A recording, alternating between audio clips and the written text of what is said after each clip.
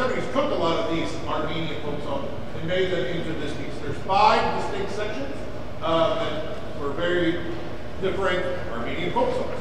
Uh, so this is Alfred Reed's Armenian Dance, Part 1. He wrote Part 2.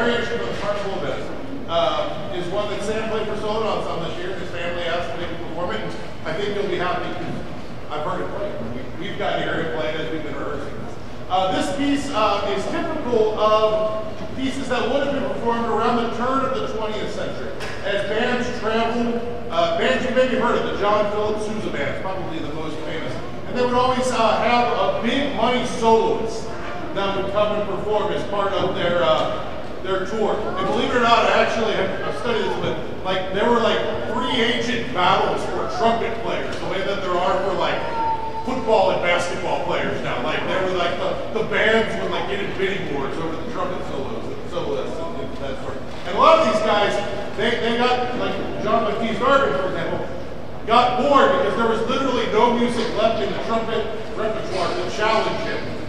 So he decided to write, start writing his own things just to keep himself entertained and to put on his show. Uh, and this, this solo is a perfect example. So uh, this is one of the, the hardest trumpet solos you'll find a high school to play, and uh, I think I think you're going to like it. So this is Sam symmetry forming variations of the carnival